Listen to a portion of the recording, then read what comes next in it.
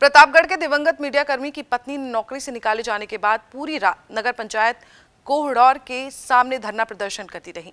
नगर पालिका के ईओ समेत कर्मचारियों पर धक्के मुक्के मारकर नौकरी से निकालने और अभद्रता का गंभीर आरोप भी लगाया।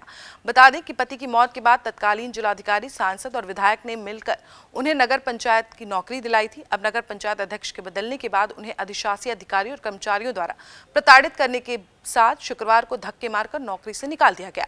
आहत होकर दिवंगत पत्रकार की पत्नी रेणुका श्रीवास्तव, नगर पंचायत कोहड़ौर कार्यालय के बाहरी धरने पर बैठ गई और आरोपी अधिशासी अधिकारी समेत कर्मचारियों पर कार्रवाई की मांग कर रही है।